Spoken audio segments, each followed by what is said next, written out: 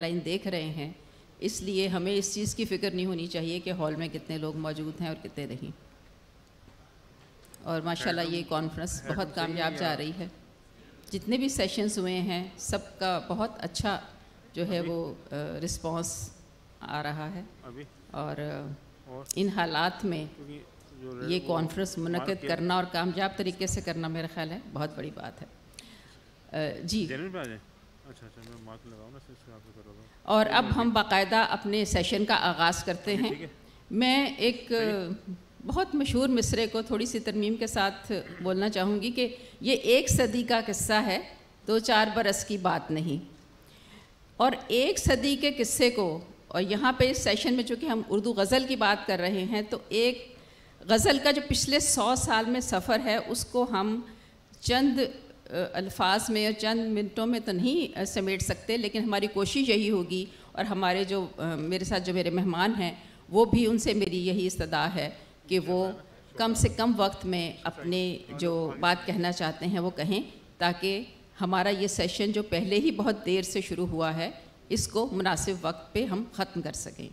सबसे पहले तो मैं दावत देना चाहूँगी मेरी मेरे साथ मेरी साथी बैठी हुई हैं डॉक्टर अम्बरीन हसीब अंबर।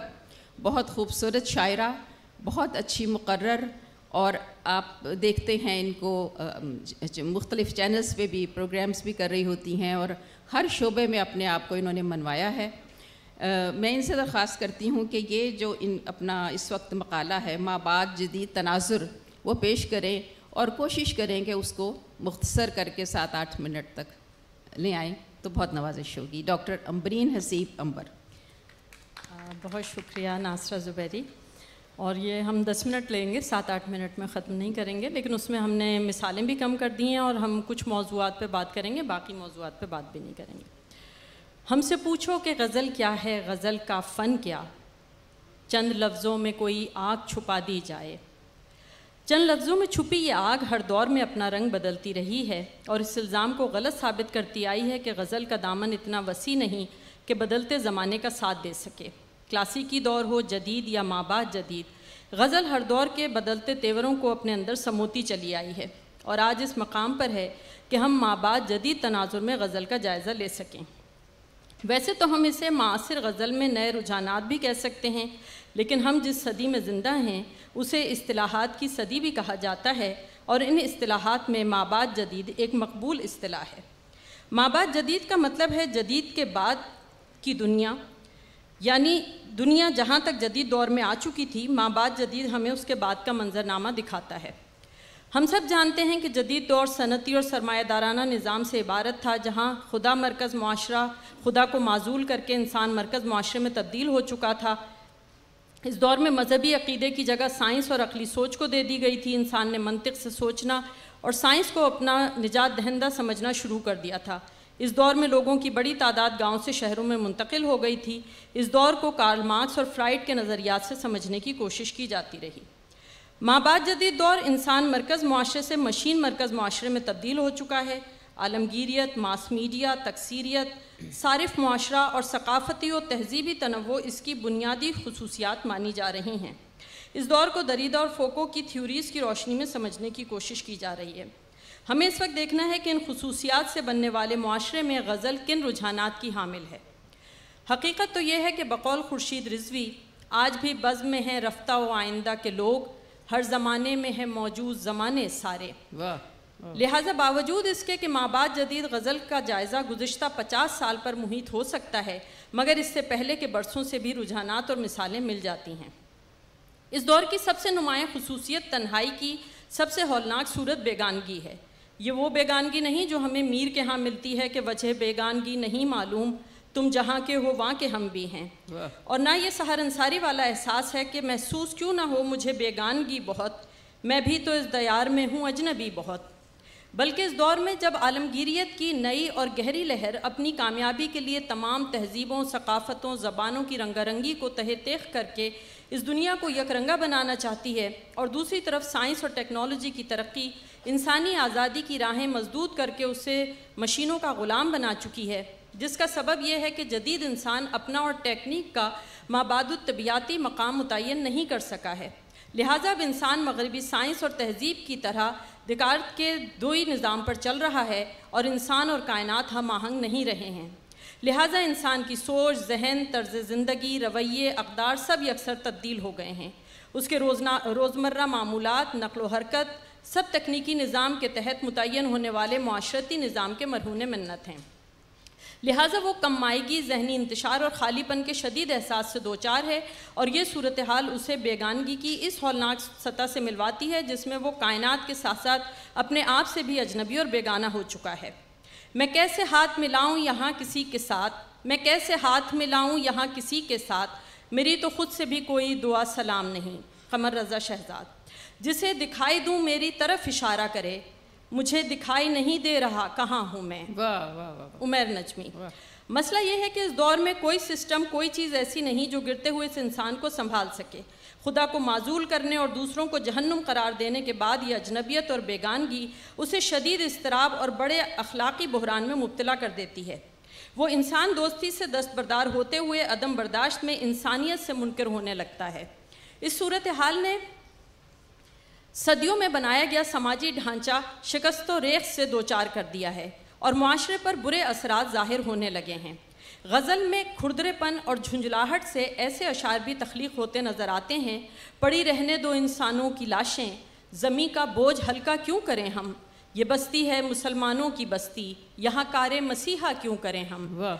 जौनेलिया मगर साथ ही इस दौर में सूरत हाल का रद्दमल भी देखने को मिलता है। मसलन असर हाजिर की सूरत हाल पर मातम को ना रहने और मायूस होने के बजाय मौजूदा सूरत हाल का तजिया करते हुए उसके इंतशार मिजाज और खामियों की निशानदही मिलती है। अगर बदलना दिया आदमी ने दुनिया को तो जान लो कि यहाँ आदमी की खैर नहीं फिराक। जादू भरी जगह है बाज़ार तुम न जाना। एक बार मैं गया था बाज़ार होके निकला। फरहत एहसास। वाह। इतना ही नहीं बल्कि इंसान अपने माजी से ताल्लुक़ जोड़कर रूहानी और अखलाकी अकदार की बाजियाफ्त में मसरूफ़ है और मुस्लिम माशराती अना, माशरती अनासर खसूस करबला और उसके तलाज़मात को बतौर इस्तारा इस्तेमाल कर रहा है जिससे एक ज़मानी तसलसल कायम होता नज़र आ रहा है। फ़रोग इसमें मोहम्मद हो बस्तियों में मुनीर कदीम याद नए मस्कनों से पैदा हो। खबर है गर्म के है आज मेरे कत्ल की रात कहाँ गए मेरे बाजू कहाँ गए मेरे हाथ? क्या हुए तौर तरीक़े वो मदीने वाले? वो महाजिर है वो अंसार है पूछो इनसे। मैं अपनी खोई हुई लौह की तलाश में हूँ। कोई तिलस्म मुझे चार सू पुकारता है। बाकी शेर हम छोड़ रहे हैं मिसालों के। इस दौर की गज़ल की एक और नुमाया खसूसियत सियासी इदराक और इस पर फ़िक्री मजामत और एहतजाज है जो कहीं मध्यम और कहीं बुलंद है। जदीद दौर में ये जो रवैया था वो गज़ल से मध्यम होता नज़र आ रहा था। इश्क में भी सियासतें निकलीं। क़ुरबतों में भी फासला निकला रसा चुखताई मेरा ये खून मेरे दुश्मनों के सर होगा मैं दोस्तों की हिरासत में मारा जाऊँगा। राना सईद दोषी अलग सियासत दौरान से दिल में है एक बात ये वक्त मेरी रसाई का वक्त है कि नहीं? अज़ीज़ हामिद मदनी मुल्की और आलमी गैर इंसानी सियासी रवैयों और इनके हरबों पर मजामत और एहतजाज की मिसालें देखिए। जो आज साहिब मसनद हैं कल नहीं होंगे। किराएदार हैं ज़ाती मकान थोड़ी हैं। राहत इंदौरी हमारे यहाँ की सियासत का हाल मत पूछो। घिरी हुई है तवाइफ तमाश बीनों में शादारफी काफिर हूँ सर फिरा हूँ, मुझे मार दीजिए। मैं खैर माँगता हूँ, मुझे मार दीजिए। मैं ठीक सोचता हूँ, कोई हद मेरे लिए। मैं साफ़ देखता हूँ, मुझे मार दीजिए। अहमद फरहाद। इन मौजूद के अलावा इंसान के दायमी जज्बे मोहब्बत को भी गज़ल में बुनियादी जगह हासिल है। ताहम इस जज्बे में भी मासर सूरत हाल चेहरा नुमा है। बेदिली इस आफाकी जज्बे को भी मुतासर कर चुकी है और इसमें वो पहली सी दिलकशी बाकी नहीं रही जो इंसान महसूस करता था। ज़िंदगी किस तरह बसर होगी, दिल नहीं लग रहा मोहब्बत में, जौने लिया। सुकून दिल के लिए इश्क तो बहाना था वगरना थक के कहीं तो ठहर ही जाना था, फातिमा हसन। मुझसे तो दिल भी मोहब्बत में नहीं खर्च हुआ, तुम तो कहते थे कि इस काम में घर लगता है, अब्बास ताबिश। आपने देखा कि ये गज़ल अपने मौजूद और लसानी एतबार से एक नए लहजे से आरास्ता है। इस गज़ल को जांचने के लिए तनकीद में माबाद जदीदियत और दीगर थ्योरीज़ का सहारा लिया जा रहा है। ये कोई नई बात नहीं अट्ठारह की अस्करी शिकस्त हमारी जहनी शिकस्त साबित हुई है और हमें एहसास कमतरी ने अपनी मशरक़ी शेरियात को तर्क करने पर मजबूर कर दिया है। और हम ये समझने की सलाहियत खो बैठे हैं कि मीशत ही मज़बूत करने के लिए दरामद कम करने की ज़रूरत नहीं होती बल्कि अदब में भी आपका मकाम तभी बनता है जब दरामद पर इहिसार ना किया जाए। सार्फियत के माशरे में हम बड़े मुल्कों और कंपनियों के सारिफ हैं वो हमें सिर्फ़ यही नहीं बताते कि हमारे लिए गाड़ी मकान कपड़े और खाना कौन सा और कैसा अच्छा रहेगा बल्कि ये भी बताते हैं कि, कि फ़िक्र और फ़लसफ़ा हमारे लिए कौन सा कारामद होगा। हमें यह भी बताया जाता है कि नज़म कैसे पढ़ी जाए, लेकिन हम हैरान हैं कि गज़ल जो हमारी तहज़ीब की परवरदा है और हमारी तहज़ीब की नुमाइंदा है, उसे कोई गैर तहज़ीब का आदमी कैसे बता सकता है कि हम वो गज़ल कैसे पढ़ें? इस इनायत का सबब यह है कि जैसे कभी मगरबी नक़ादों का ख्याल था कि बरतानवी सल्तनत के मुस्तबिल का दारोमदार इस बात पर है कि हिंदुस्तानी लोग अंग्रेज़ी अदब कैसे पढ़ते हैं इसी तरह अब मशरक़ी नक़ादों को ये समझ लेना चाहिए कि मगरबी तसलुत के मुस्तबिल का दारोमदार इस बात पर है कि मशरक़ी लोग अपना अदब कैसे पढ़ते हैं। मगरबी सियासत और साइंस की जो दोई हमें नज़र आती है, वही अदब में भी नज़र आ रही है कि एक तरफ़ फ़िक्र और फ़लसफ़ा ये कहता है कि ये अफकार और आरा की एक तरह की आज़ादा रवि है और कैद बंद से आज़ादी इसका मुंतहा। लेकिन हकीकत हमें ये बता रही है कि हम ऐसी सकाफ़त में रहते हैं जिसने सदाकत को तलाश करने के सभी रास्ते खोल दिए हैं, लेकिन इसे हासिल करने के तमाम इम्कान ख़त्म कर दिए हैं। बसा ताज़ा हवा की ख्वाहिश में हम क्या करते हैं, इसको इकबाल अज़ीम के शेर पे कहते हुए हम बात ख़त्म करते हैं कि ताज़ा हवा के शौक़ में साकिनान शहर इतने नदर बनाओ कि दीवार गिर पड़े।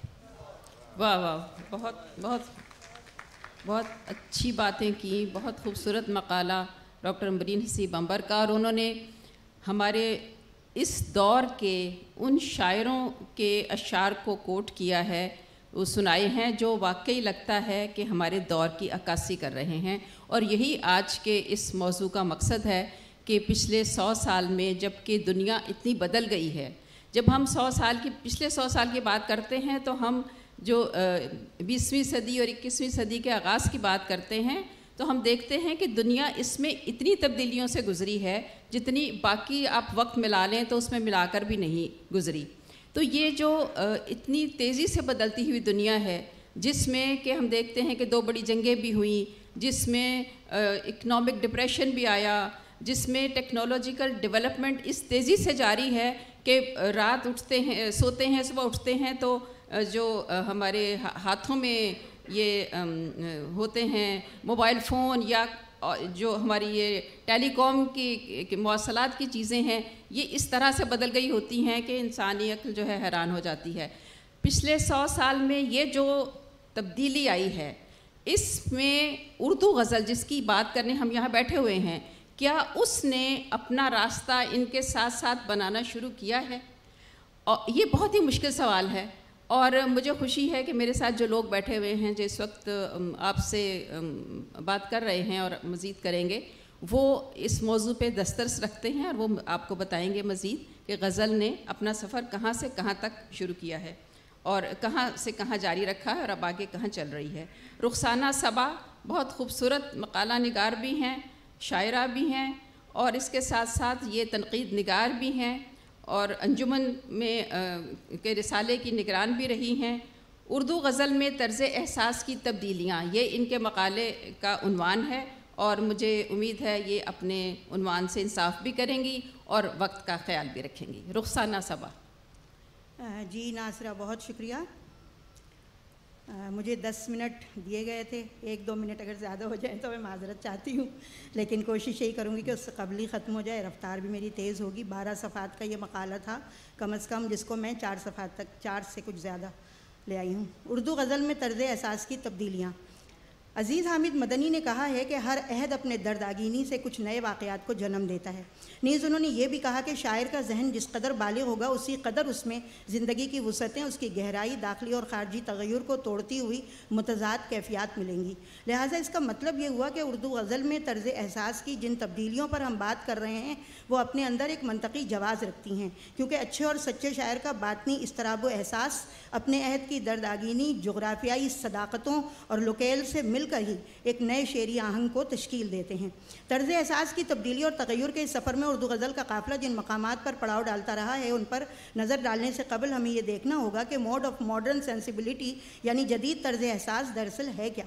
और ये किस तरह किसी शायर के तखयल से हमकिनार होकर ज़मान मका की हदूद से मावरा हो जाता है और पूरी अदबी फ़ज़ा को अपनी गिरफ्त में ले लेता है। टी एस एलियट ने आई ए रिचर्ड की तसनीफ साइंस और शायरी के जवाब में दिए जाने वाले अपने मशहूर खुतबे मॉडर्न माइंड यानी जदीद जहन में तन्हाई, इंसान की पैदाइश और मौत, कायनात की लामहदूद वसत, वक्त के तनाजुर में इंसान का मकाम और इंसान की कम इदराकी को जदीद इंसान के अहम मसाइल करार दिया। सैयद जाविर अली जाबिर ने अपने एक मजमून में इसका हवाला देते हुए कहा कि अगर जदीद तर्ज एहसास को किसी एक लफ्ज़ में समेटा जा सकता है तो वह है तन्हाई। हम और आप जुजवी तौर पर यकीनन इससे इख्तलाफ कर सकते हैं, क्योंकि इस तरह गज़ल के वो अशार, जिनमें ताज़ा तर फ़िक्री इशारे या निशात अंगेज़ी की कैफियत भी हों तो हमें ऐसे अशार को जदीद तर्ज एहसास के हामिल अशार की फहरिस्त से निकालना पड़ेगा। लेकिन हम ये भी देखते हैं कि ज़िंदगी और मौत की कशमकश, लामतनाही कायनात और उसके असरार, वक्त की रफ्तार, उम्र रफ्ता का दुख, समाज और तकदीर के सामने इंसानी इदराक इख्तियार की बेबसी, नाकामी और एहसास शिकस्ती वो मसाइल हैं, जो एहसास तनहाई को जन्म देते हैं। टी एस एलियट का मस्कूरा खुतबा तो गालबन पहली मरतबा उन्नीस सौ तिरपन में शायद हुआ। लेकिन दिलचस्प बात यह है कि गालिब इससे करीबन सौ, सवा सौ बरस कबल ये कहकर अपने जदीद जहन का सबूत फराहम कर चुके थे कि ना गुले नगमा हूँ, ना पर्दा एसाज, मैं हूँ अपनी शिकस्त की आवाज़। और मंजर एक बुलंदी पर और हम बना सकते, अर्श से उधर होता काश के मकाम अपना। वैसे वैसे तो इससे कबल इसकी मिसालें इससे कबल भी मौजूद हैं। मसलन इस शेर के बारे में क्या ख्याल है कि मीर साहब ज़माना नाजुक है दोनों हाथों से थामिए दस्तार। लेकिन गालिब के हिस्से में जहनी हमांगी से महरूमी और बहुत सी बलामतें आईं इसलिए वह एहसास तनहाई का शिकार रहे लेकिन एक बुदशिकन की तरह गज़ल के रिवायती दायरे पर कारी ज़रब लगाई और इंसान कायनात इश्क और इंसानी वहदत के हवाले से एहसास और इजहार की सतह बदल दी। गालिब के बाद होना तो ये चाहिए था कि ये तसलसल कायम रहता, क्योंकि वो जदीद जहन फ्राहम कर चुके थे। लेकिन दाग अमीर मिनाई, जलाल और उनके मासिर शोरा गज़ल में हुसन इश्क की क्लासिकी रिवायत से मुंसलिक रहे और ये तसलसल कमज़ोर पड़ गया। गालिब उर्दू गज़ल को जहन अता कर चुके थे, मगर उनके बाद उर्दू गज़ल के काफ़िले में उस वक्त तक किसी बड़ी तब्दीली का एहसास बेदार नहीं हुआ, जब तक हाल ही ने जिसम और रूह के दायरे में सफ़र करने वाली उर्दू गज़ल की मकबूलियत का एतराफ़ किया और उस पर तनकीद का पहला पत्थर फेंका। हाल ही खुद तो गज़ल में कोई जौहरी तब्दीली ना ला सके। उनकी गज़लों की सतह एकहरी है, लेकिन उनके आखिरी दौर की गज़लों में मकसदियत और इफादियत और तामीरी रुझान की जो झलकियाँ नज़र आती हैं, उनसे इतना ज़रूर हुआ कि उर्दू गज़ल के बुनियादी मौजू, यानी इश्क का दायरा, इंसान दोस्ती और कौमियत के एहसास तक फैल गया। हाल ही चकबस्त और अकबर ने अपने अपने तौर पर गज़ल में कुछ नए मजामी दाखिल किए, लेकिन हम इसे महज एक अबूरी दौर करार दे सकते हैं। उसी ज़माने में अजमतुल्ला खां गज़ल की गर्दन मारने की बात कर चुके थे, लेकिन बाल जबरील की गज़लों ने साबित किया कि गज़ल रिवायती सांचे में रहते हुए भी मौजूद ज़ुबान, उसलूब, मिजाज और लहजे हर सतह पर तगैर कबूल करने की भरपूर सलाहियत रखती है। ज़ाहिर है कि इस तगैर का सरचश्मा इकबाल जैसे बड़े शायर का तर्ज एहसास था, जिन्होंने इश्क के हरकी तस्वुर, आरजूमंदी, सरशारी और बुलंद हौसलगी का एहसास गज़लों में इस तरह समोया कि एक नई फ़ज़ा तैयार हो गई। तूने ये क्या गज़ब किया? मुझको भी फाश कर दिया। मैं ही तो एक राज था सीना कायनात में। नज्म गोई के फ़रोग की सहद में कई अहम शोरा गज़ल से वाबस्ता थे मगर गज़ल की अहमियत कम हो गई थी। इसीलिए हसरत असगर फ़ानी और जिगर को बीसवीं सदी में गज़ल की नशतुस्सानिया के अहम किरदारों में शुमार किया जाता है। काश हमारे नक्काद इस फहरिस्त में शाद अजीम आबादी का नाम भी शामिल कर लेते जो हसरत से कबल नए तर्ज एहसास के ऐसे अशार कह रहे थे कि तमन्नाओं तमन्नाओं में उलझाया गया हूँ खिलौने दे के बहलाया गया हूँ। इस शहद में उर्दू गज़ल ताज़ातर एहसास के हवाले से कोई बड़ी जस नहीं लगा सकी, लेकिन एक नए क्लासिकी लहजे की तश्कील ज़रूर हुई। हसरत और जिगर की गज़लों में अलबत् सियासी और समाजी सूरत हाल की कुछ झलक ज़रूर मिलती है। उसी दौर में यास गाना चंगेज़ी का तख्लीकी शूर अपने मुनफरद लहजे, नए तर्ज एहसास बुलंदी फ़िक्र और इजहार के मुख्तलिफ़ करीनों और लसानी तजर्बों के सबब अपनी शनाख्त कायम करने में कामयाब रहा। उन्होंने खुददारी और इज़्ज़त नफ्स के एहसास के साथ तेवर तनतना और मर्दाना लबो लहजे का इजाफा किया। शायद आरफी भी उसी दौर में सियासी और समाजी रवैयों के साथ अपनी तंजिया गज़ल के साथ उर्दू को एक नए लबो लहजे और नई लफ्जियात से रोशनास करा रहे थे। पहाड़ काटने वाले ज़मीन से हार गए। इसी ज़मीन में दरिया समाए हैं क्या क्या और हमारे यहाँ की सियासत का हाल मत पूछो। घिरी हुई है तवाइफ तमाशबीनों ने। ये यगाना और शाद के अशार हैं, जिन्हें जदीद गज़ल का नुक्ता आगाज़ ज़रूर करार दिया जा सकता है। उसी दौर में जोश, हफीज़ एहसान दानिश अख्तर शिरानी और सागर निज़ामी ने रुमानियत और तरक्की पसंदी के अनासर के साथ कुछ गज़लें लिखीं, लेकिन उनकी वजह शहरत नज़म ठहरी। जोश ने तो हकीम आज़ाद अंसारी के एक मजमून के जवाब में गज़ल की मुखालफत में मजमून भी लिखा। गज़ल पर तरक्की पसंद नाकदीन की तनकीद के बावजूद फ़िराक, फैज़, मखदूम, मजाज, साहिर, जज्बी, मजरू सुल्तानपुरी अहमद नदीम कासमी, कैफी आज़मी, जानसार अख्तर और तरक्की पसंद तहरीक से वाबस्ता कई शोरा नज़म के साथ गज़ल भी कहते रहे। और जज्बा, तकसीम हिंद के बाद जज्बाती शिकस्त रेख फसादात खूरेजी मायूसी हिजरत, सनती इनकलाब और अकदार की शिकस्त के बाद ख्वाबों का तिलस्म टूट गया था। गहरी उदासी ने दिल में डेरे डाल लिए थे, लिहाजा इनहराफ का रवैया परवान चढ़ा और मादी तरक्की के बावजूद एक हमगीर तन्हाई इंसान का मुकद्दर बनी। साठ की दिहाई में हिंदुस्तान में फ़िराक और पाकिस्तान में फैज़ और नासिर काजमी की सरकर्दगी में गज़ल का जो काफ़िला चल रहा था, उसमें शामिल शोरा जदीद जहन के मालिक थे। रहमान आज़मी ने सूरत हाल की तरफ़ इशारा करते हुए कहा है कि मीर की दर्दमंदी और इंसान दोस्ती, गालिब की तशकीक और एहसास शिकस्त और यगाना और फ़िराक की नफसियाती पेचीदगी और धुंधल धुंधलकी की कैफियत अब ज़्यादा नई मालूम हो सक, होती है। अब मिली और कौमी एहसास, नारा इनकलाब, रूमानियत और इश्तराकियत जैसे मामला में कशिश बाकी नहीं रही।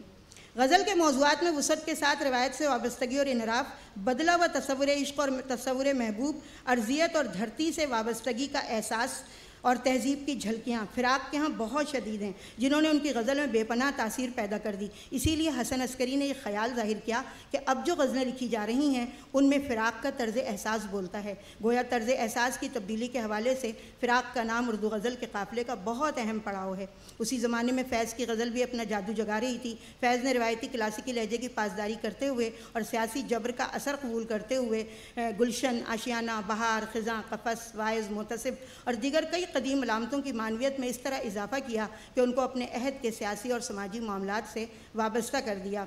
और इस तरह शहर आफरीनी की इस कैफियत ने उनकी गज़ल को इस कदर मकबूल बनाया कि पूरी उर्दू गज़ल पर फैज़ और फ़िराक के असरात मुरतब हुए। मुद्दतें गुजरी तेरी याद भी आई ना हमें और हम भूल गए हों तुझे ऐसा ऐसा भी नहीं, भी नहीं फ़िराक लखनवी और न सवाल वसल न अर्ज़ गम न हिकायतें न शिकायतें। तेरे अहद में दिल जार के सभी इख्तियार चले गए। फैज़ अहमद फैज़। तरक्की पसंद शायरी के खारजियत और एकहरेपन से गज़ल के मिजाज को मुनासबत न थी मगर उस दौर में गज़ल में इनकलाब और जहदोमल का रूमानी तस्वुर सियासी और समाजी तनाजुर और मोहब्बत और मादी कशमकश के एहसास दाखिल हुए। शमसुरमान फ़ारूकी ने जदीद गज़ल के लिए यगाना शाद आरफी और फ़िराक के किरदार को अहम तस्लीम करते हुए इस बात का इजहार किया कि यगाना और शाद के असरात यगाना और शाद आरफी के असरात सिर्फ़ मस्बत ही नहीं, बल्कि मनफी भी हैं। और फ़िराक के असरात मस्बत नज़र आते हैं। फ़ारूकी साहब ने यह बात हिंदुस्तान के तनाजुर में उस वक्त कही थी। ताहम पाकिस्तानी गज़ल में फैज़ ने सियासी और समाजी जबर के हवाले से एक ऐसे तर्ज एहसास का इजाफ़ा किया, जिसके असरात आज तक जारी हैं। हल्का अरबाब ज़ौक़ से वाबस्ता शोरा नून मीम राशिद मीरा जी मुख्तार सिद्दीकी, यूसुफ ज़फ़र, क़यूम नज़र, मजीद अमजद और अख्तरमान और बहुत सारे दूसरे जदीद नज़म के दाई थे, मगर उन्होंने खारजियत के मुकाबले में दाखिलियत के लिए राह हमवार की। तकसीम हिंद के बाद उन्नीस सौ पचास के लगभग उभरने वाली जिस नस्ल ने उर्दू गज़ल में तर्ज एहसास की, तब्दीली के इस सफ़र को इसकाम बख्शा फ़िराक और फैज़ के बाद उसका सरखेल नासिर काजमी को समझा जाता है। और नासिर ने शदीद एहसास तनहाई आशोब आगही जवाल और तबाही की तजर्बाती सदाकत, गुमशुदा अकदार और बातनी इसतराब की शिद्दत से काम लिया और फितरत से वाबस्ता अलामतों को नई मानवियत के साथ इस्तेमाल करते हुए तकसीम हिंद, फसादात, हिजरत और सकूत मशरक़ी पाकिस्तान के अलमियों और तहजीबी आशोब की बेहद उमदा तस्वीरें खींची। बकौल डॉक्टर इबादत बरेलवी, उन्होंने नई मेजरी के ज़रिए गज़ल की फ़ज़ा को ही बदल दिया। उस जदीद तर्ज एहसास के इस काफ़िले में इतनी बड़ी कहकशां तख्लीकारों की शामिल है कि उनके नाम लेना इस वक्त तो बहुत मुश्किल है। लेकिन अभी अगर हम उनके सिर्फ़ चंद अशार हाफजे में लाएँ तो अंदाज़ा होता है कि साठ की दिहाई में लिखी जाने वाली इस गज़ल में इश्क और तस्वुर महबूब के हवाले से बदला हुआ रवैया, सियासी और समाजी रवैये, इंसान और खुदा का ताल्लुक़, लामतनाही कायनात में इंसान की तनहाई, वक्त की रफ्तार, गुमशुदा तहजीबी अकदार का दुख, उम्मीद और उदासी और पेचीदा मुतनव ज़िंदगी के न जाने कितने गोशे नए तर्ज एहसास के साथ इस गज़ल में रोशन हो रहे हैं। अदा जाफरी जहरा निगाह परवीन पना सैद राबिया पिन्हा और बिल्किस जमाल की बदौलत एक खूबसूरत नसाई नसाई एहसास भी उसी दौर में उर्दू गज़ल में दाखिल हुआ। यूँ किस तरह कटेगा कड़ी धूप का सफ़र? सर पर ख्याल यार की चादर ही ले चलें नासिर काजमी। कुछ ना था याद बजुस्कार मोहब्बत एक उम्र। वो जो बिगड़ा है तो अब काम कई याद आए। जमीलुद्दीन अली हर लहजा जुल्मतों की खुदाई का वक्त है। शायद किसी की चेहरा नुमाई का वक्त है। अहमद मुश्ताक एक और दरिया का सामना था मुनीर मुझको। मैं एक दरिया के पार उतरा तो तो मैंने मैंने देखा। देखा। मुनीर न्याजी वो लोग जिनसे तेरी बज़्म में थे हंगामे गए तो क्या तेरी बज़्म ख्याल से भी गए? अज़ीज़ हामिद मदनी। और मैं किसके हाथ पे अपना लहू तलाश करूँ? तमाम शहर ने पहने हुए हैं दस्ताने मुस्तफ़ा जैदी। और इश्क वो कार मुसलसल है कि हम अपने लिए एक लम्हा भी पसंदाज नहीं कर सकते। रईस फ़रोख और मलगजे कपड़ों पे उस दिन किस गज़ब की आप थी, सारे दिन का काम उस दिन किस कदर हल्का लगा, जहरा निगाह। एक तरफ़ तो ये अली दर्जे की गज़ल लिखी जा रही थी जिसमें जब्त- जज्बाती तोज़ुन जब्त खुदागही ज़माना शनासी एहसास कर्ब हकीकत, पसंदी, दाखिली, सदाकत जैसे अनासर मौजूद थे। दूसरी तरफ़ गुलाफ्ताब की इशात के बाद ज़फ़र इकबाल के लिसानी तजुर्बात का हंगामा और सलीम अहमद के एंटी गज़ल का चर्चा था, मगर इन तजुर्बात को कबूलियत की सनत नहीं मिली। साठ की दिहाई में ऐसी गज़लें भी लिखी गईं जिनमें वाक़ियत ज़दगी राह पा गई थी। जदीद होने के शौक़ में नए तख्लीकारों ने गज़ल में ऐसे अशार भी शामिल किए जो बड़े मज़हका खेज़ हैं। यहाँ तक कि सत्तर की दिहाई में उर्दू गज़ल का काफ़िला नई गज़ल की वादियों में दाखिल हुआ। लेकिन ठहरिए पहले शकीब जलाली को याद कर लें। जिन्होंने 1966 में मौत को गले लगाया, लेकिन उनका मजमुआ 1970 के बाद हमारे सामने आया। शकीब जलाली भी ज़ाती और नफसियाती कैफियतों और अपनों के बेरहमाना रवैयों के सबब। सारी ज़िंदगी जहनी और नफसियाती दबाव का शिकार रहे। लफ्ज़ियात और तराकीब, खूबसूरत तमसालकारी और नए तर्ज एहसास से उर्दू गज़ल की आबरूमंदी में इजाफ़ा किया और हदूद वक्त से आगे निकल गए। फसील जिस्म पे ताज़ा लहू के छींटे हैं, हदूद वक्त से आगे निकल गया है कुछ। सत्तर, अस्सी और नबे की दिहाई में उभरने वाली गज़ल, ना तो तरक्की पसंदी, लसानी तजर्बों और वाक़ियत ज़दगी के जुनून में मुबतला हुई और ना उसने मीर गालिब या इकबाल के रंग को शौरी तौर पर अपनाया। इस गज़ल में नई तराकीब, ताज़ा तलमीहात व इश्तारात पैकर तराशी और तमसालगरी के नए नमूने, जदीद उसलूब, रूसी तनव और ताज़ा तर मानवियत ने जगह पाई है। इसीलिए इस गज़ल में बकौल डॉक्टर अरशद महमूद नाशाद, असरी मेलानात और जदीद हिस्सियत की मौसर पेशकश भी है और तहदारी और रमजियत भी। इस अहद में भी बहुत बड़े बड़े नाम हैं, जिनके मैं, सबके नाम मैं नहीं ले सकती यहाँ पर। जब ये शाये होगा तो आप देखिएगा। असलम अंसारी, खुर्शीद, रिजवी, ग़ुलाम मोहम्मद कासिर, साबिर ज़फ़र, इफ्तार आरिफ, इरफान सिद्दीकी, मोहसिन नकवी, सरवत हुसैन इजहारुलक और खालिद इकबाल यासिर अताशाद सलीम कौसर, जलील अली वगैरह वगैरह। सत्तर और अस्सी की दिहाई की गज़ल, ज़िंदगी के तनव और पेचीदगी आलमी और मकामी सूरत हाल से जन्म लेने वाले एहसास इंसान के बातनी इसतराब जदीद साइंसी अहद के तगैरत, इंसानी नफसियात और माबाद जदीद रवैयों को इजहार में लाई है। इसमें नसाई एहसास बहुत अहम है। मसलन कपास चुनते हुए हाथ कितने प्यारे लगे मुझे ज़मी से मोहब्बत के इश्तारे लगे। इशरत आफरी और बाद में खुलने से पहले का इशारा देखना मैं समंदर देखती हूँ तुम किनारा देखना देखना। इशरत आफरी। और हवा चलेगी तो खुशबू मेरी भी फैलेगी। मैं छोड़ आई हूँ पेड़ों पे अपने हाथ के रंग फातमा हसन। और ढूंढती थी शाम का पहला सितारा लड़कियाँ। खेल क्या था? बस ये ख्वाहिश कहीं जाने की थी। और मिट्टी की मोहब्बत में हम आशुफ्ता सरों ने वो कर्ज उतारे हैं जो वाजिब भी नहीं थे। इफ्तार आरिफ ने कहा और सलीम कौसर ने कहा कि पुकारते हैं इन्हें साहिलों के सन्नाटे जो लोग डूब गए किश्तियाँ बनाते हुए। बहरहाल हम आखिर में अब ये बात बस कर सकते हैं मज़ीद कुछ बातों को निकालते हुए कि जदीद तर्ज एहसास का ताल्लुक महज अपने अहद के तगैरत, अर्जी सूरत हाल ज़ाती दुख और एहसास तन्हाई से नहीं होता। जदीद ज़बान, जदीद अल्फाज और वाक़ ज़दगी से भी इसका कोई ताल्लुक नहीं, बल्कि उसके लिए एक जदीद जहन दरकार होता है, जैसे दाग और हाली के मुकाबले में गालिब और इकबाल का जहन या यगाना और फिराक, यगाना के मुकाबले में फ़िराक गोरखपुरी का जहन।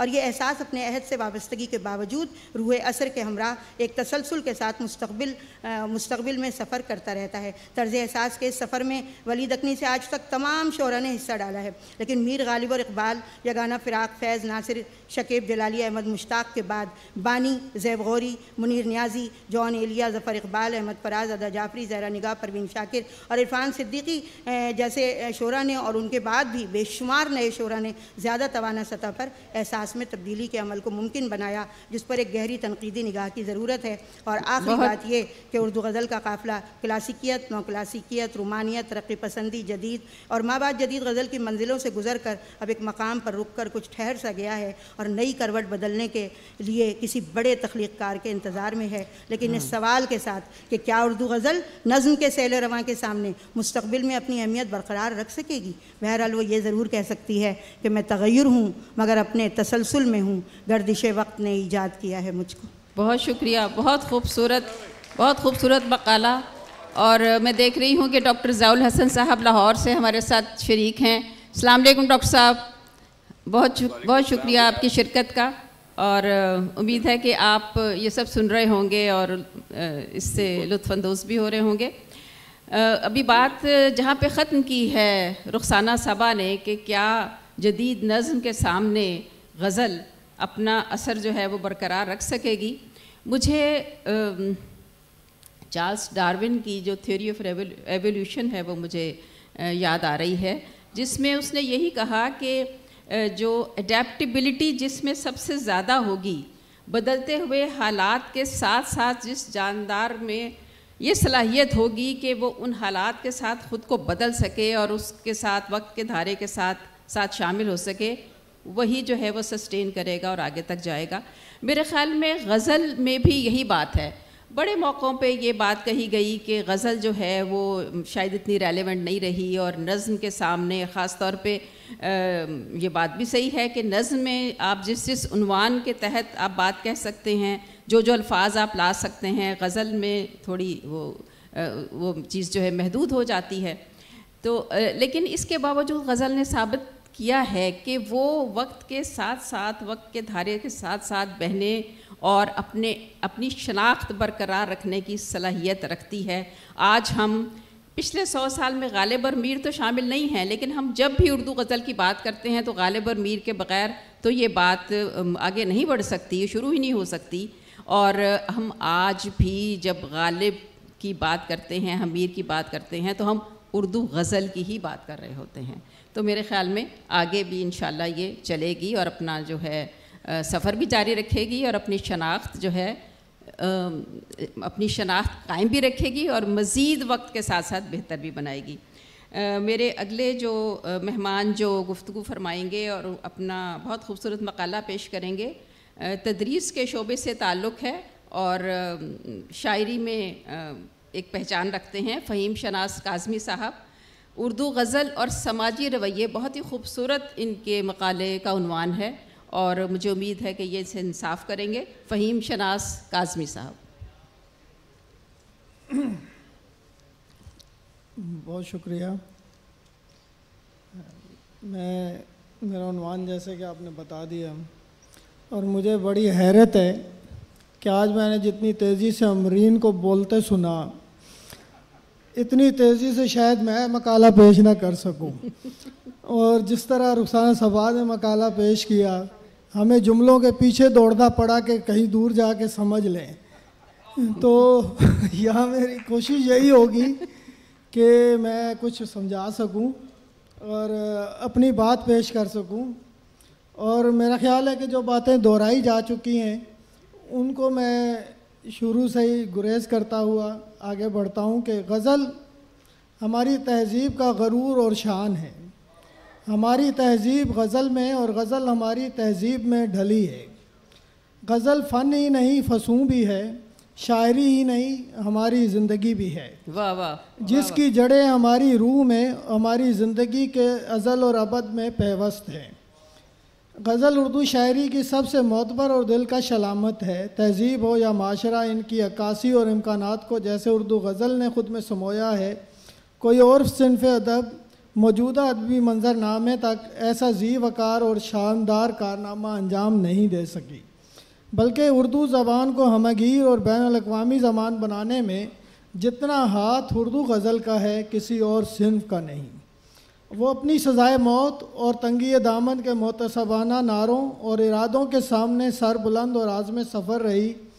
मीर मीर सोज, मीर दर्द ने गज़ल को कैफियत और जज्बे की हिसास तरीन फ़िक्री उफ़क मुहैया किए, जिसे गालिब ने अपनी शायरी में समो कर एक नए दौर की बुनियाद रखी।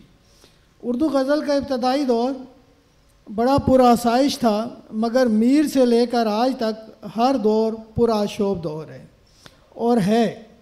मराठों की यलगार, दिल्ली की बार बार बर्बादी, मुग़ल शहनशाहियत का ख़ात्मा, जंग आज़ादी, तहरीक क़्याम पाकिस्तान, तकसीम हिंदुस्तान, दो आलमी जंगों के असरात खसूस जंग अजीम दोम के असरात, तवील मुद्दत तक असरानंदाज रहे, जिसमें बर सग़ीर के लोगों को गाँव गाँव से भर्ती करके दूर दराज मुआज़ों पर भेजा गया। फिर जंग आज़ादी के असरात ने एक पूरी तहजीब की बिसात लपेट दी। सारे वा, ये सारे वाक़ात हर ख़ास व आम पर असरानंदाज हुए और तमाम मालूम फ़नून, चाहे वो सहाफ़त हो, अदब हो या मज़हब, सब की सफ़ों में तगैर रूनुमा हुआ। ये तगैर अज़ीज़ अहमद मदनी के नज़दीक इनकलाबी तब्दीली और तेज़ रफ्तार तब्दीली है, जिसने समाजी, समाज और समाजी रवैयों को बदल कर रख दिया। मीर ने कहा था कि आई अगर बहार तो अब हमको क्या सबा? मीर ने कहा था आई अगर बहार तो अब हमको क्या सबा? हमसे तो आशियाँ भी गया और चमन गया। वाह वाह वाह। और दिल की बस्ती भी शहर दिल्ली है जो भी गुज़रा है उसने लूटा है। और किसी ने कहा कि जंजीर जनू कड़ी न पड़ियो दीवाने का पाँव दरमिया है। और फिराक ने कहा था इस दौर में ज़िंदगी बशर की, बीमार की रात हो गई है। इन तमाम अशार की तख्लीकी ऐद में वक्फ़ा है, मगर ये माशरती सूरत हाल का आईना है, जिसमें इन अदवार के अक्स बहुत नुमायाँ हैं। मीर से गालिब तक सब माशरे, सब, मीर से गालिब तक सब माशरती बेतवजही का शिकार रहे, और मीर साहब का हर सुखन है रमज़। मीर साहब ने कहा कि मीर साहब का हर सुखन है रमज़, बेहकीकत है शेख क्या जाने। न सताइश की तमन्ना, न सिले की परवाह, न गर नहीं है मेरे अशार में मानी ना सही। और ये बहुत अजीब मकाम है, वो जिन्हें अपने ज़माने में नज़रअंदाज किया गया, इन्हें बाद में आने वाले हर ज़माने ने अपनाया और मोहब्बत और अकीदत से याद किया, और मिटे नामियों के निशां कैसे कैसे समाजी रवैया अदब और फ़िक्री आज़ादी के लिए कभी कुशादा दिली का मुजाहरा नहीं करता। कभी वो बर्दाश्त करता है और कभी यकसर रद्द कर देता है। मगर कबूलियत का लम्हा कभी नहीं आता। क्या में पाकिस्तान के बाद पानी पा, बानी पाकिस्तान ने जिस कौमी फ़िक्री आज़ादी का ऐलान किया था? हम मिन हैसल कौम आज तक इसकी तलाश में हैं और अदबी और फ़िक्री महाजों पर बहुत से लोग सरगर्म हैं। ऐसे माशरे जिनमें घुटन हो, इजहार पर पाबंदी हो, इंतहा पसंदी हो आमरीत के मुहिब आमरीत की मुहिब रात मुसलसल तारी हो, खौफ व हरास सहूलियात ज़िंदगी की किल्लत हो, रात और दिन का सुकून गारत हो, एक के बाद एक बहरान से सारा माशरा उथल पुथल हो, इंतशार अफरा तफरी खुद गर्जी और जराइम की बहुतात हो अदारे अपने फ़राइज से गफलत का शिकार हों, इंसाफ कोड़ियों के मोल बिकता हो। इस दौरे नापुरसा में, जब कोरोना जैसी वबा और महँगाई जैसी लानत का फरीत आ पड़े तो आदमीयत, आदमी, आदमियत भूल जाता है। मगर गज़ल को गज़लियत याद रही। अठारह सौ अठावन के अयूबी मार्शल ला से आज तक, जहनी और जज्बाती, सियासी और फ़िक्री नशोनुमा, अधूरी और सतहीपन का शिकार रही। जैसा कि हाली ने कहा था, ये मुमकिन नहीं है कि किसी कौम के ख्याल में दफ़तन एक नुमाया तरक्की और वसत पैदा हो जाए और समाज एकदम बदल जाए। दफ़तन वसत पैदा नहीं हो सकती, बल्कि नामालूम तौर पर बयान और असलूब में आहिस्ता आहिस्ता इजाफे किए जाते हैं। अनकोट। डॉक्टर जहाल हसन ने गज़ल और गज़ल की तनकीद में आल अहमद सरूर का हवाला दिया था कि मुझे इसका एहसास है कि गज़ल की वजह से जहनी परागंदगी में तरक्की हुई है। और गज़ल की बेशतर अलामत अब इतनी पामाल हो चुकी हैं कि इनमें ताजगी बाकी नहीं रही। फिर यह भी कि गज़ल की वजह से आदमी सारी उम्र इशारों में बातें करता है और शॉर्ट हैंड बोलता है। इसे तफसील, वजाहत और तामीर के हुस्न से बिल्कुल मस नहीं होता। जहाल हसन आगे लिखते हैं, लीजिए। सरूर साहब ने हमें अपनी खामियों और ऐबों का जवाज़ फराम करने का गुर सिखा दिया। अब हम कह सकते हैं कि अठारह सौ सतावन में अयूब ख़ान ने मार्शल लॉ इसलिए लगाया कि गज़ल ने हमें इनफाली रवैये दिए। उन्नीस सौ इकहत्तर में मशरक़ी पाकिस्तान इसलिए अलग हुआ क्योंकि गज़ल का हर शेर अलग इकाई होता है। ज़ियालक ने इस्लाम के नाम पर ग्यारह साल इसलिए गुजार दिए क्योंकि इकबाल ने गज़ल में अरब अरब रवायात का अहया करने की कोशिश की। हम साठ साल से कर्ज़ों पर इसलिए गुजारा कर रहे हैं कि गज़ल ने भी फ़ारसी से अरूज और अलामात कर्ज लिए हैं। हवाला, कोट। आइए ज़रा देखिए रवैये की तोजी भी करते चलें। रवैया एटीट्यूड की असलाह नफ्सियात से अदब में आई। फ़र्द के महसूस करने, सोचने और इज़ार अमल का मखसूस अंदाज रवैया है। गोया रवैया किसी शख्स का मखसूस नुक़ नज़र है और रवैये की बुनियाद जबिलत विरासत और माहौल पर उसवार है। जज्बा, विरासती खसूसियात और माहौलाती असरात के साथ मिलकर एक इज्तमाही रवैये को जन्म देता है। अदब में रवैये की असलाह अदीब शायर की तख्लीकियत की इजहारी समत का तयन करती है। रूमानवी क्लासिकी नौ क्लासिकी जदीदियत पसंदी, तरक्की पसंद, अदब पसंद अकलीत रवाजियत रजाइत निराजियत पसंद वगैरह वगैरह। जैसी असलाह मखसूस जहनी रवैयों की फ़िक्री मनहाज इल्मी पस मंज़र की समत इशारा करती हैं। किसी भी माशरे में बैक वक्त बहुत सी तहारीक नमूदार हो भी सकती हैं और मिट भी सकती हैं। जमील जालवी फरमाते हैं कि मज़हब अकायद रस्म रवाज माशरत मादी वसाइल और ज़रूरियात ज़िंदगी के सारे अवामल एक माशरा और समाजी रवैया तरतीब देते हैं।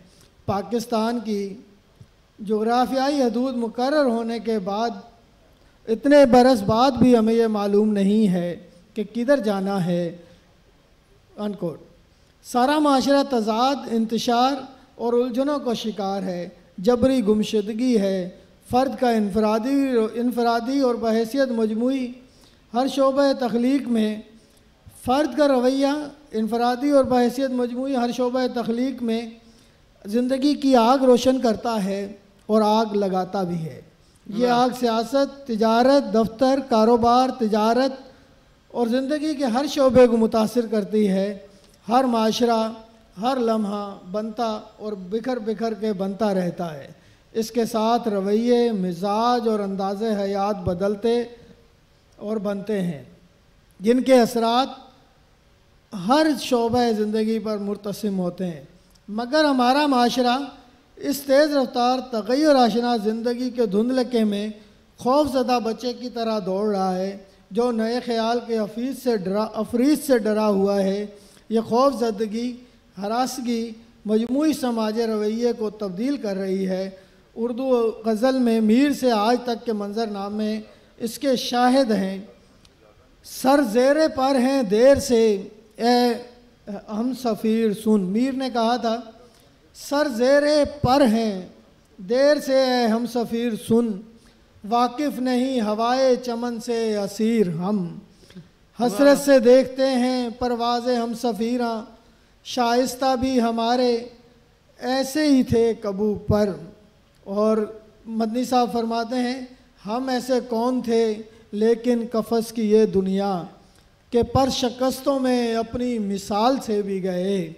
गुलो समर का तो रोना अलग रहा लेकिन ये गम के फ़र्के हरामो हलाल से भी फ़हीम भाई फ़हीम भाई आप दिल तो नहीं चाह रहा कि आपको मैं बीच में टोकूं लेकिन ये कि अब वक्त हमारे पास ज़्यादा नहीं है। शादाब हसैनी साहब भी हैं फिर डॉक्टर जऊल हसन साहब भी हैं।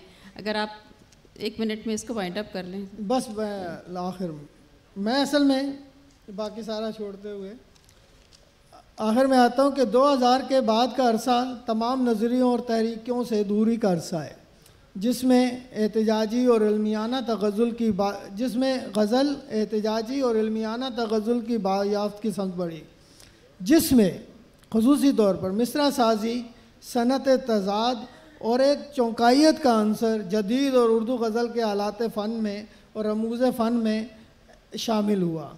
इसके साथ वजूदी एहसास और ख़्याल भी इस गज़ल की रूह हैं, जिसमें वजदान व शूर और सियासी और तहजीबी असरार रमूज़, नई मतनी तशरीहत और ताबीरत की मानवी तादारी है। इस नस्ल के, इस नस्ल की, इस नस्ल के पास उर्दू गज़ल की एक शानदार और इनकलाब आफरी रवायत है इनकी दुनिया बीस साल कबल की दुनिया से ज़्यादा वसी है। अच्छा इनमें मैं कुछ नाम पेश करना चाह रहा था और मैं कुछ करना चाहूँगा। दो मिनट अगर आप मुझे दे दें तो। इन नए शोरा में इनका चूँकि ज़िक्र नहीं आता हमारे आम रवैया जो है गज़ल का वो पचास और सत्तर की दहाई बस आप उनके नाम पढ़ दीजिए। मैं बस उनके नाम आपको सामने ज़रा पेश कर देता हूँ। इन नए शरा में जो अहम नाम है जिन्होंने 2020 के बाद जिनकी शेरी शनाख्त कायम हुई। इनमें डॉक्टर इब्रार अहमद, अब्बास ताबिश, नसीर अहमद नासिर, मोइन निज़ामी, शादाब एहसानी मीर अहमद नवेद, लियाकत अली आसिम, आज़म बेजाद, खालिद मोइन, अख्तर सईदी, अकबर मासूम, सऊद उस्मानी, अफजल गौर राव, शाहीन अब्बास। इनमें कुछ नाम ऐसे भी हैं जो पिछले उसमें भी से भी आ रहे हैं हमारे पास।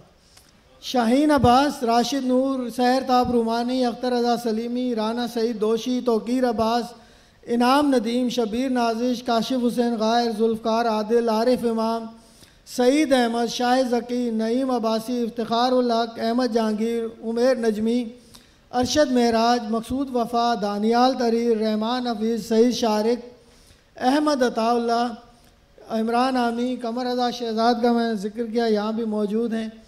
और नदीम नाजिद, इमरान इमरान शमशाद, कैसर मुनवर कामरान नफीस, किश्वर अदील जाफरी, सईद राजा, दिलावल अली आज़र खुमार मीरज़ादा, सलेमान सरवत, राना ग़ुलाम मईउद्दीन और फिर इसी तरह ख़वातीन शायरात में अमरीन हमारे सामने हैं। हुमेरा राज शुभा तराज, शाइस्ता सहर, फरिया नकवी, नगमा शाहीन, कोमिल जोया, साइमा आफ्ताब नीलम मलक शाहिदा मजीद फ़रह कामरान इशरत मोइन सीमा शहनाज नकवी राह जाय समीना सैयद शाइस्ता मुफ्ती रिजवाना सईद रोज़ मासूमा शिराजी जहान आरा तबस्सुम और बहुत सी ख़वातीन शायरात जिन्होंने जदीद आगही के साथ गज़ल के खदो खाल संवारने में मसरूफ़ है। बस फ़हीम भाई बहुत शुक्रिया। ये बहुत शुक्रिया यकीनन ये सब नाम बहुत काबिल एहतराम हैं और बहुत सारे रह भी गए होंगे जो आपसे बाद शिकवा भी करेंगे।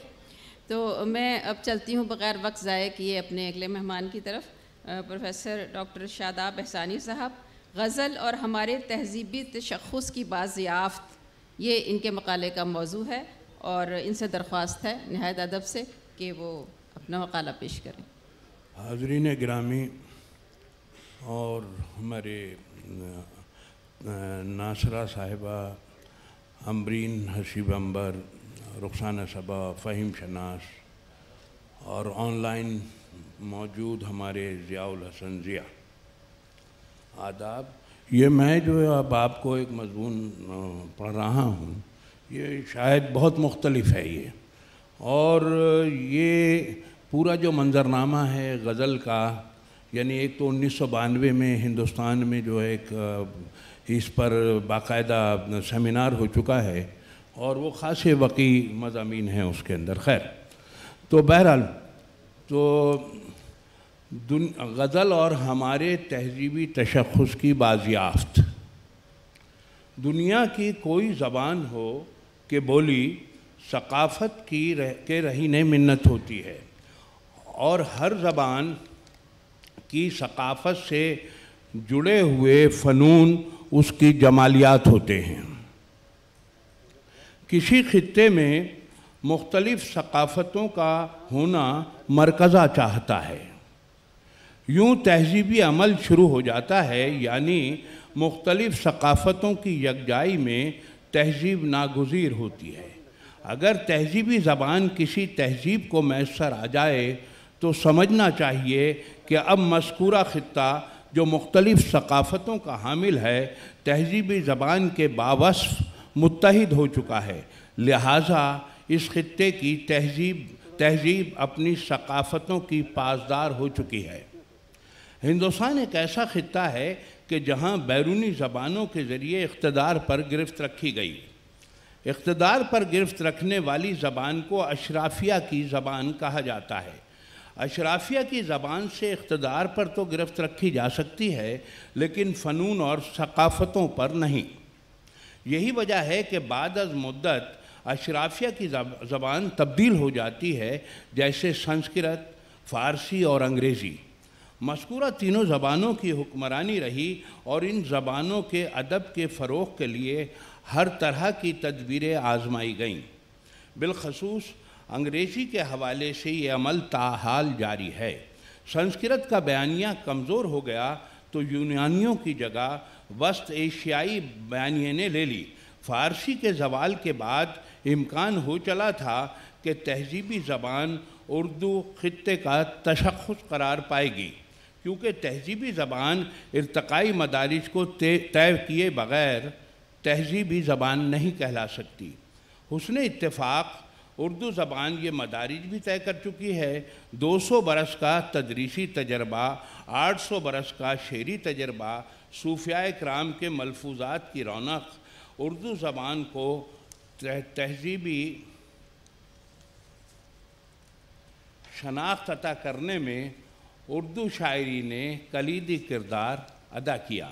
बिलखसूस गज़ल ने कि जिसकी परवरिश फ़ारसी की आगोश में हुई, सारा मंजरनामा आपके सामने है फिर भी तासुब मिटाने वाली ज़बान से हम तासुब करने से बाज नहीं आ रहे। बोलते क्यों नहीं मेरे हक़ में आबले पड़ गए ज़बान में क्या, क्या? बोलते क्यों नहीं मेरे हक़ में आबले पड़ गए ज़बान में। क्या? गज़ल ने उर्दू ज़बान को तहजीबी बनाने में वो काम किया जिसके सबब आज हम उर्दू ज़बान को तहजीबी ज़बान करार दे रहे हैं। असनाफ के हवाले से हवाले से हकीकत ये है कि हर ज़बान की कोई भी सिनफ उससे जुड़े हुए कल्चर की कोख से जन्म लेती है। हर ज़बान की कोई भी सिनफ उस जुड़े, उससे जुड़े हुए कल्चर की कोख से जन्म लेती है। अगर कोई सिनफ मुस्तार हो तो उसे उस खत्े की सरजमीन से जुड़ना पड़ता है कि जो उस ज़बान के कल्चर का हिस्सा होती है।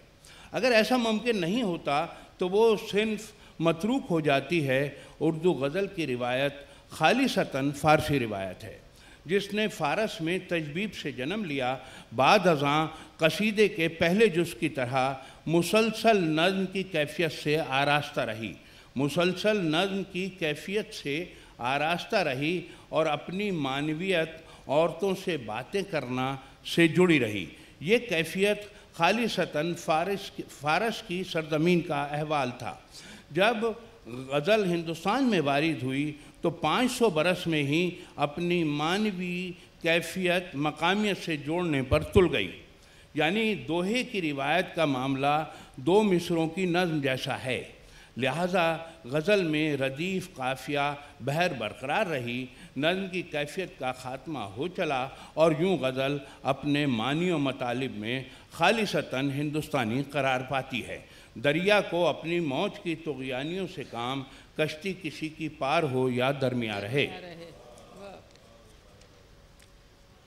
मौलाना अल्ताफ़ हुसैन हाली का ये शेर गज़ल का होते हुए भी भरपूर नज़म लगता है और ये रिवायत से जुड़ी हुई महसूस होती है और ये रिवायत से जुड़ी हुई महसूस होती है हरचंद के गज़ल का फ़नी मामला अरबी फ़ारसी रिवायत का हामिल है जबकि दोहे का अहवाल पिंगल के छंद से इबारत है।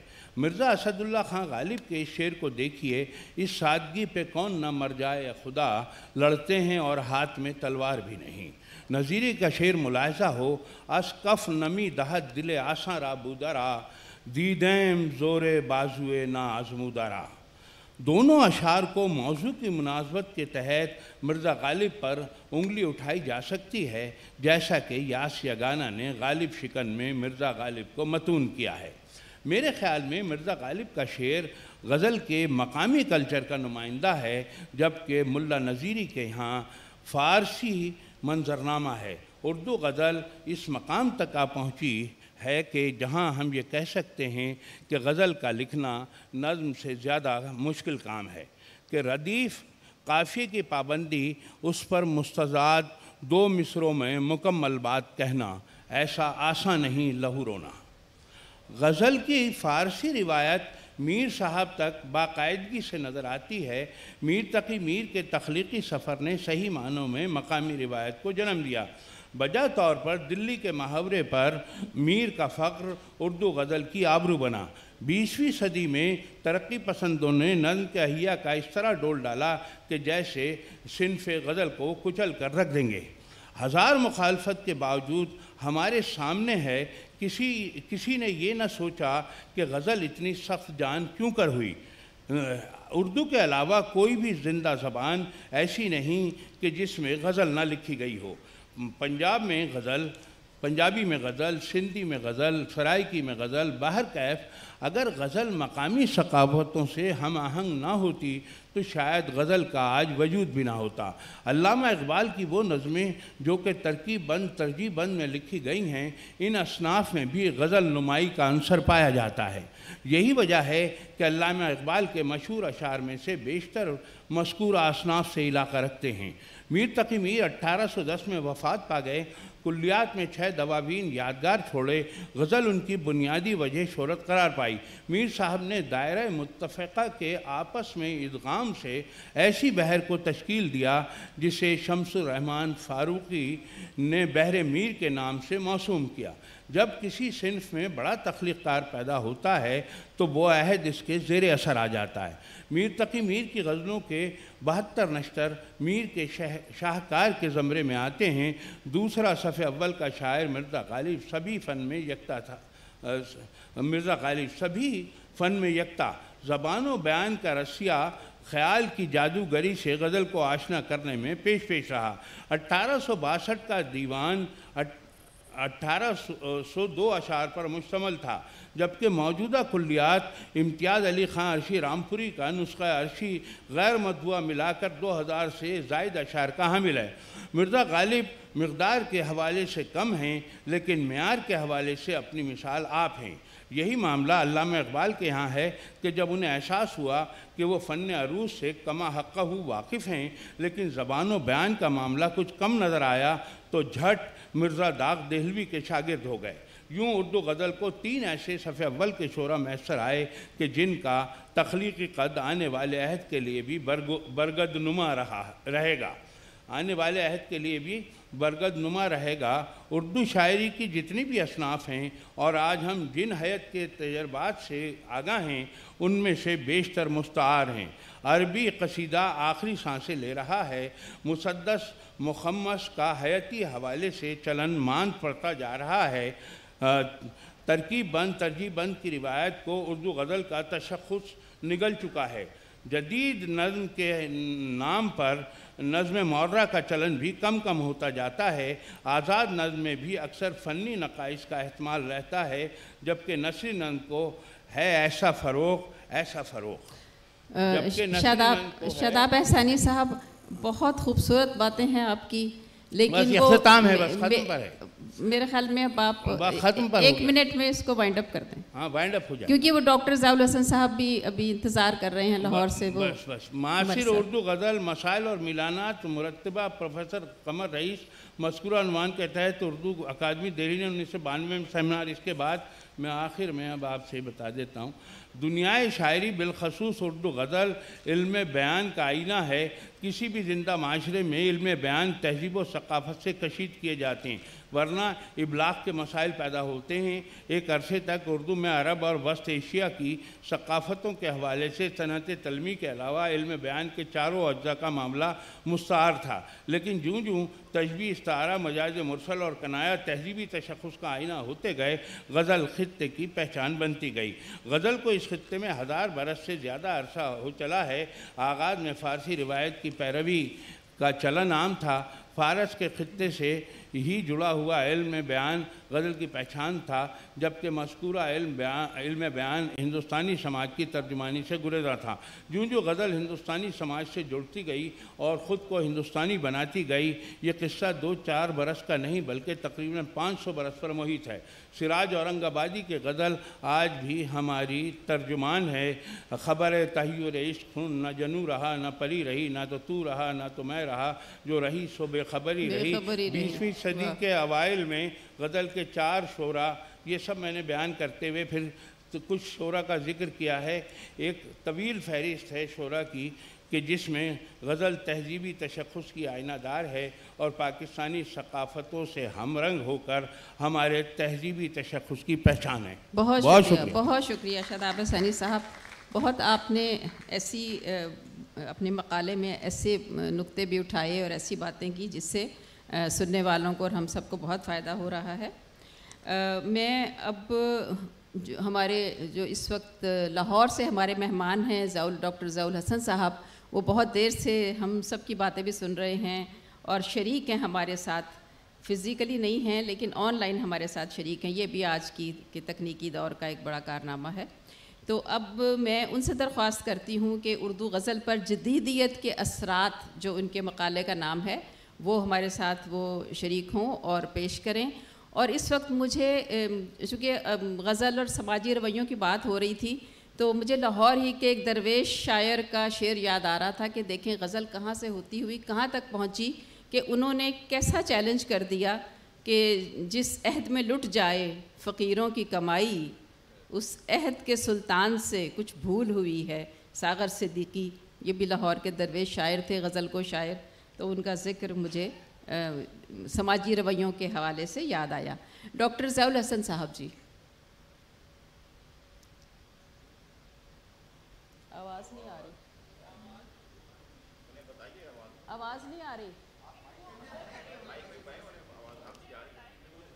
हाँ डॉक्टर साहब अभी आप रुकें आपकी आवाज़ नहीं आ रही है। अब अभी आप रुकें। मैं आपको क्यों दूँगी फिर आप बोलिएगा जी हेलो?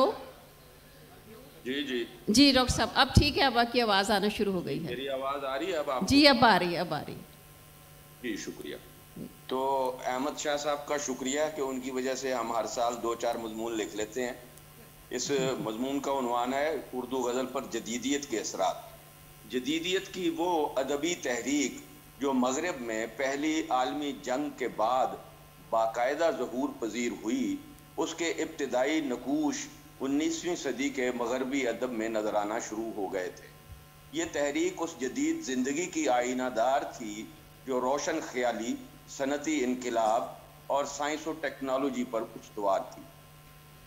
अट्ठारहवीं सदी के निसफ आखिर से आगाज़ होने वाली ये जदीद ज़िंदगी उन्नीसवीं सदी में ज़्यादा नुमाया होकर सामने आई और जिसके नतीजे में मगरब में नावल अफसाना और जदीद नज़म नज़म का सफ़र आगाज़ हुआ। हिंदुस्तानी मुआशरत की अक्कासी उस दौर में गज़ल कर रही थी, चुनाचे इसके इब्तदाई नकूश भी गज़ल ही में मारज इजहार में आए। गालिब व अजीम शायर है, जिसने इसे अपने तख्लीकी तजुर्बे के तजुर्बे के ज़रिए सबसे पहले वजदानी और लाशूरी तौर पर दरियाफ्त किया। इक्कीसवीं सदी में नुमाया होने वाले सारफी कल्चर को उन्होंने कितनी गहराई से 200 साल पेश पहले पेश किया है देखिए। कि गारत करे नामूस न हो गर हवा से जर क्यों शाहिद गुल बाग से बाज़ार में आवे। गालिब ही पहला शायर है जिसने इश्क पर उस्तवार हिंद इस्लामी तहजीब की बिसात लिपटने की पहली खबर अपनी गज़ल में दी। हुस्न गमजे की कशाकश से छुटा मेरे, मेरे बाद। बारे आराम से हैं अहले जफा मेरे मेरे बाद। कौन होता है हरीफे मय मर्द अफगन इश्क है मुकर्र लबे साकी पे सला मेरे मेरे बाद। आए है बेकसिए इश्क पे रोना गालिब।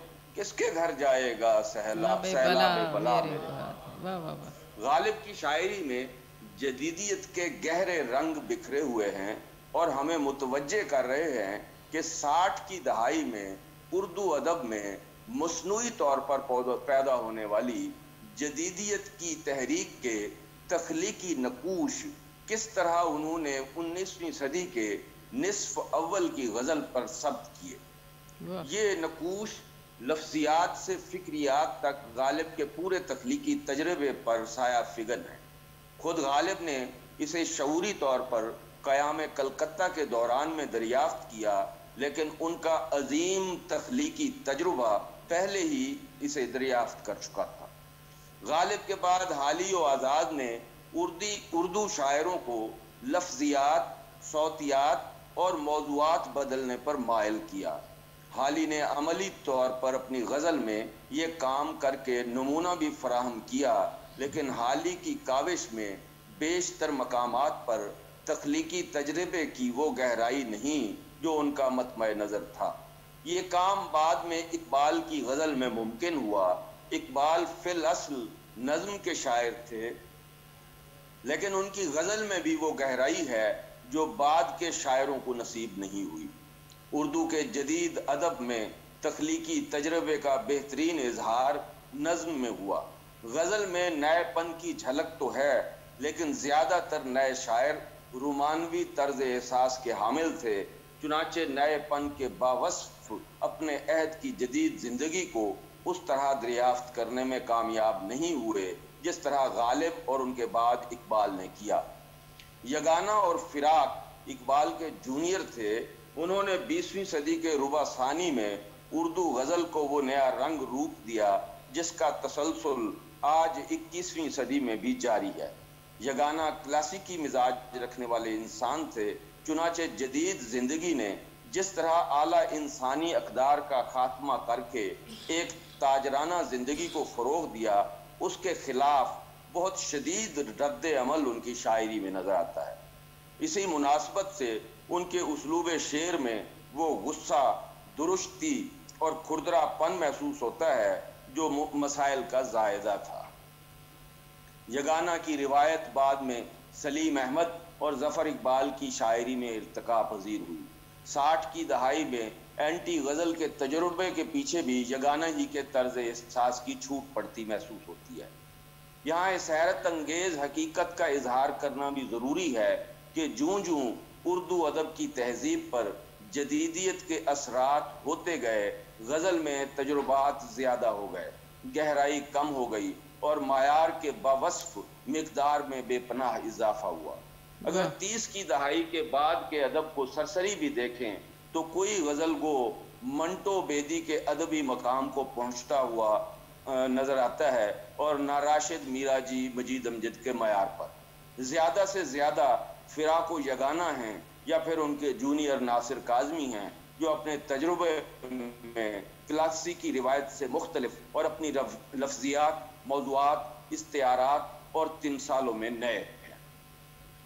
यहाँ हमें दोहरा लेना चाहिए कि जदीदियत की मगरबी तहरीक फ़नी तौर पर अलामत तजरीद और फ़िक्री तौर पर वजूदियत के फ़लसफ़े से मुंसलिक थी और दोनों का ताल्लुक इनफरादियत से है। इस तहरीक के पस मंज़र में जो ताजराना मुआशरत नज़र आती है, उसने जागीरदारी निज़ाम की इज्तमाहीत को ख़त्म करके इनफरादियत को फ़रोग दिया। जागीरदाराना निज़ाम की बुनियाद ख़ानदान, बरदरी और कबीले पर थी, जबकि सरमायादारी निज़ाम में फ़र्द को मरकजियत हासिल है, क्योंकि हर फर्द सारिफ है। चुनाचे हम देखते हैं कि क्लासी, क्लासिकी अदवार में इजतमाही अलामतों में शायरी हुई। और जदीदियत के असरात से शख्सी अलामतें तख्लीक हुई। क्लासिकी शायरी फ़िक्री तौर पर वहदतुलवजूदी फ़िक्र से मुंसलिक थी तो जदीद शायरी वजूदियत के फलसफे से असर पजीर हुई, जिसका मरकज़ा फ़र्द यानी मैं था। क्लासिकी शायरी में सीगा जमा मुतकलम हम से मामूर नज़र आती है। वहाँ हमें मैं कम से कम नज़र आता है, क्योंकि वादतुल वजूदी फ़लसफ़ा मैं को ज़ात मुतलक में ज़म कर देता है और मैं बजाते ही कुछ नहीं, बल्कि इज्तमाही ज़िंदगी का एक उनसर है। यहाँ मैं एक और बात अर्ज़ करना चाहता हूँ कि मेरा लिटरेचर का मुताला इस बात की तोसीक नहीं करता कि साठ की दहाई में उर्दू अदब पर जदीदियत के असरात मुरतब हुए। ये ठीक है कि इस दौरान में हमारे अदीबों ने शौरी तौर पर मगरबी जदीदियत को उर्दू अदब में मसनू तौर पर पैदा करने की कोशिश की, लेकिन जदीदियत अपनी पूरी आबोताब से, अपनी और अपनी रूह के साथ हमें उर्दू अदब में उस वक्त नज़र आई जब हमारे खत्े पर मगरबी ताकतों ने गैर एलानी या तीसरी आलमी जंग मुसलत की। मगरब में पहली आलमी जंग भी ताजराना मकसद, मकासद के हसूल के लिए लड़ी गई। और उसके नतीज वहाँ जदीदियत की तहरीक पैदा हुई। लेकिन उसके साथ इनकलाब रूस भी बरपा हुआ। दूसरी जंग अजीम के बाद वहाँ जदीदियत को बेपनाह फ़रोग हासिल हुआ और इनकलाब चीन बरपा हुआ। उन्नीस सौ उनासी से आगाज़ होने वाली तीसरी गैर एलानिया आलमी जंग के लिए उन्होंने एशिया को मैदान जंग के तौर पर मुंतखब किया है। चुनाचे गुजशत चालीस साल के अदब पर जदीदियत के असरात फितरी तौर पर मुरतब हुए। साठ की दहाई के मसनू अलामती और तजरीदी अदब ने अदब और कारी के दरमियान फैसला, फासला पैदा किया और मौजूदा दौर की फितरी जदीदियत अदब और कारी का ताल्लुक जोड़ रही है और आने वाले सालों में और ज़्यादा जोड़ेगी क्योंकि अब हमारी, हमारे अदब की अलामतें हमारी ज़िंदगी ने पैदा की हैं। हमारे तजुर्बे की जायदा है। एक बात तो मैंने अर्ज़ अर्ज़ की कि सीगा वाहिद मुतकलम गुजशत निसफ सदी की शायरी में वक्त के साथ साथ फरामा होता चला गया है। अब हमको इज्तमा में जम फर्द के लिए इस्तेमाल करने वाले शायर खाल खाल मिलेंगे। उन्नीस सौ उनासी के बाद जो जो ज़िंदगी आगे बढ़ी, उर्दू गज़ल में मैं का इस्तेमाल फरावा होता गया। हती के शेरी मजमुओं के उनवाना में भी फरावानी से नज़र लगा। डॉक्टर साहब आप तो डॉक्टर जौल साहब आप आपकी गुफ्तगु इतनी खूबसूरत है कि दिल चाह रहा है कि आप बोलते ही रहें और हम उससे इस्तफ़ादा करते रहें। लेकिन मुश्किल ये है कि इसके बाद हमारा दूसरा सेशन तैयार है और वो लोग इंतज़ार में हैं। मैं चाहूँगी कि आप अपनी गुफ्तु को पाँच छः मिनट का मुकाला पड़ा है आपके साथ। मैं मैं चाहूँगी आप इसको ज़रा जल्दी वाइंड अप कर लें। जी।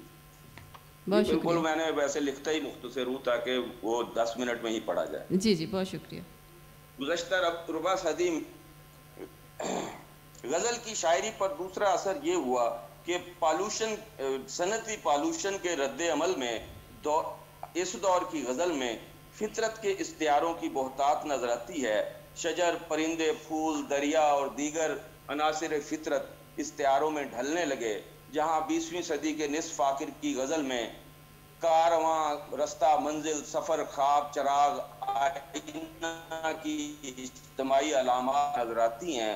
वहाँ गुजशत रुबा सदी की गज़ल में शख्सी अलामतों की भरमार है। याद रहे कि मैं मुशायराती गज़ल की बात नहीं कर रहा, हालाँकि मुशायराती गज़ल पर भी इसके असरात मुरतब हुए।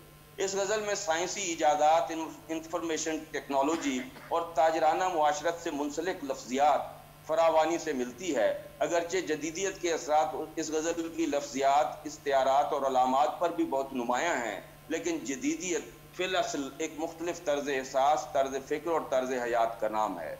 इसलिए इस दौर की गज़ल मौजूदी और फिक्री तौर पर ज़्यादा तब्दील हुई है। मुनाफ्त खुदगर्जी, सख्त दिली, खरीदो फरोख्त, अदम बर्दाश्त, लालच, खौफ, दहशत, जुल्म बरबरीत हमारे वजूद में पैदा हुए हैं और गज़ल में भी। ज़रा साठ की दहाई की जदीदियत और गुजशत चालीस साल की जदीदियत का फ़र्क गज़ल के शेरों से समझने की कोशिश करते हैं। साठ की दिहाई के बाद गज़ल कुछ यूँ जदीद हुई कि कागज़ के फूल सर पर सर पे चला सजा के सजा चली हयात। निकली बरूने शहर तो बारिश ने आ गया मुझे कुबड़ा न समझो ज़िंदगी पर मैं हँसते हँसते दोहरा हो गया हूँ। और मोहब्बत है बड़ी कुछ उम्र में और है हवस छोटी मगर दिल है कि है सौ जान से लहलो छोटी पर। दुकानें असलहा से मैंने जो शमशीर ली है मैं उसके दाम पूछू पूछूँगा ना उसके दाम दूँगा। अब गुजशत रुबा सदी की उस गज़ल के चंद शेर देखिए जिसमें जदीदियत का इजहार फितरी गहरा और मुख्तलिफ़ है जिसमें अकदार हयात का फुकदान नई लफ्जियात तजारती मुआशरत और फ़र्द फ़र्द होने की रुदात पेश हुई है। गुलों की ताजगी खुशबू हँसी बरए फ़रोख है इस चमन में हर एक चीज़ ही बराए फरोख्त और मेरी तकसीम बार बार हुई अब तो मैं भी नहीं रहा मैं मुझमें। नकली फूल पराई बात न भेजा कर बने बनाए पैगामात न भेजा कर और कुमरी तेरी कूकू कूकू पर अब कान धरेगा कौन?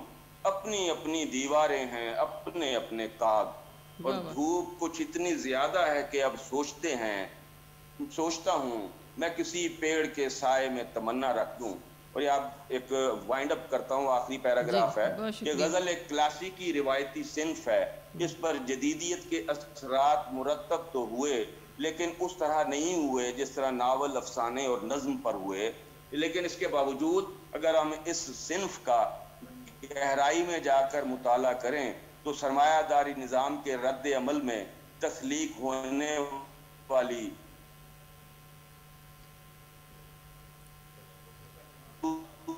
मेरा ख्याल है कि दूसरी जंग की गज़ल अरुबा सदी में लिखे जाने वाली और पर गज़ल तीनों तजर्बे मुख्तलिफ़ नज़र आते हैं।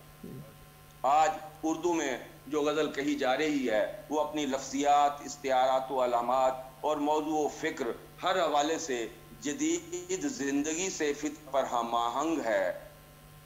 पाकिस्तानी जदीदियत का ज़माना असर हाजिर है इसलिए सही मानों में जदीद गज़ल गुजशत रुबा सदी से लिखी जा रही है। हमारे जो सादा लौ नक्काद उर्दू में माँ बाप जदीदियत तलाश कर रहे हैं, वो ऐसे ही हैं जैसे हम साठ की दहाई में जदीदियत तलाश कर रहे थे। ये भूसे के ढेर में से सुई तलाश करने वाला काम है। नतीजतन जब वो किसी फन पारे में माँ बाप जदीदियत तलाश करते हैं तो फन पारा उसकी तोसीक नहीं करता, क्योंकि वो सरता सर जदीदियत के असरात का जायदा निकलता है। बहुत शुक्रिया डॉक्टर साहब। आपकी आपका मकाला आपकी गुफ्तु उससे हम सब मुस्तफ़ हुए हैं और दिल तो यही चाहता था कि मज़ीद आपसे आपकी बातें सुने लेकिन वक्त की कमी जो है वो मेरा ख्याल सबसे मुश्किल मरहला है। और आगे भी हमारा सेशन तैयार है इसलिए अपने मेहमानों का हाजरीन नाजरीन और सामीन जो जो भी ऑनलाइन भी सुन रहे हैं, देख रहे हैं, उन सब का शुक्रिया।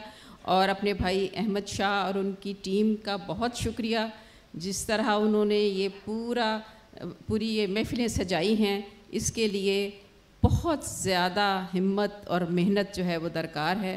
और ये कोई आसान काम नहीं है, हम सबको शुक्रगुज़ार होना चाहिए। और अपनी बात ख़त्म करती हूँ एक जुमले पे। कि कहते हैं कि अदब का कशीद शायरी है। तो मैं ये कहती हूँ कि शायरी की कशीद गज़ल है। आप सबका बहुत बहुत शुक्रिया।